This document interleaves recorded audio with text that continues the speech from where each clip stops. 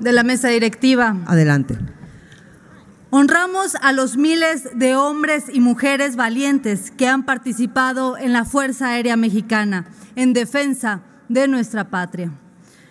Desde hace más de un siglo, esta noble institución ha tenido la misión de salvaguardar la paz y la seguridad de todas y todos los mexicanos, actuando en importantes misiones de rescate, en la lucha contra la delincuencia, las amenazas exteriores e incluso durante la Segunda Guerra Mundial con el Escuadrón 201.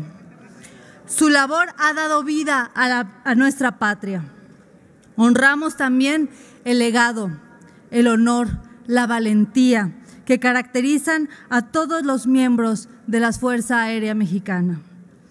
Ustedes son un claro ejemplo de lealtad y de amor a México.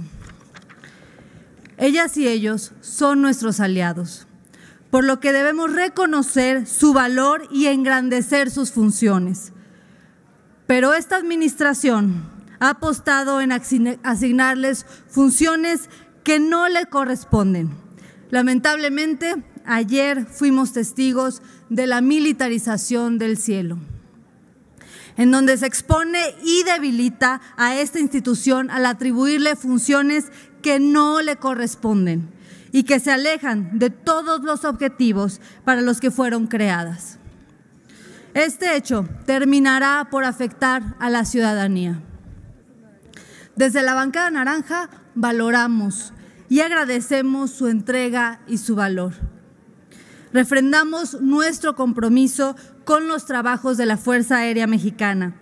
Seguiremos insistiendo en que merecen desempeñar sus labores con seguridad y con el reconocimiento que merecen.